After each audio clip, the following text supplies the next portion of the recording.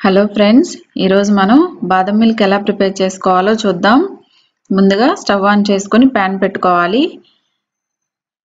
ఒక కప్పు బాదం పప్పు వేసుకొని ఇవి కొద్దిగా కలర్ చేంజ్ అయ్యే వరకు వేయించుకోవాలి. మీడియం ఫ్లేమ్లో పెట్టుకొని ఈ విధంగా మనకి కలర్ చేంజ్ అయితే సరిపోతుంది. ఇప్పుడు స్టవ్ ఆఫ్ చేసుకొని ఇవి చల్లారిన తర్వాత మిక్సీ జార్లోకి తీసుకొని మిక్సీ పట్టుకుందాం. ఈ బాదం పప్పులోనే నాలుగైదు యాలుకలు కొద్దిగా పసుపు వేసుకొని మెత్తగా పౌడర్ చేసుకోవాలి. బాదం పౌడర్ రెడీ అయిన తర్వాత ఇందులో ఒక కప్పు మిల్క్ పౌడర్ వేసుకొని కలుపుకోవాలి.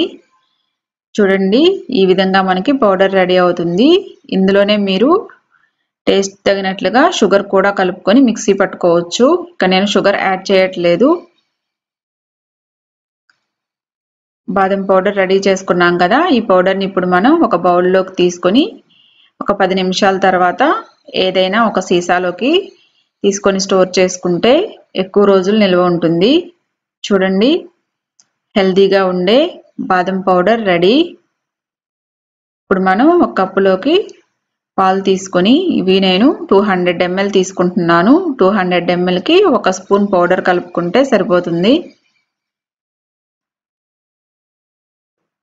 ఇప్పుడు ఇందులోనే మీరు షుగర్ కావాలంటే షుగర్ యాడ్ చేసుకోవచ్చు. లేదంటే తేనె కలుపుకున్న టేస్ట్ చాలా బాగుంటుంది. పిల్లలకి ఇచ్చేటప్పుడు తేనె కలిపిస్తే జలుబు లేకుండా ఉంటుంది.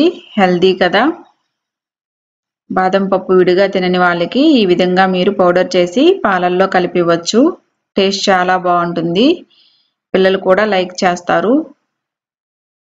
చూడండి ఎంత ఈజీగా ప్రిపేర్ చేసుకున్నాం కదా. మీరు కూడా ట్రై చేసి చూడండి. నా ఛానల్ని సబ్స్క్రైబ్ చేసిన వాళ్ళకి వ్యూవర్స్ అందరికీ చాలా thanks. Thank you so much friends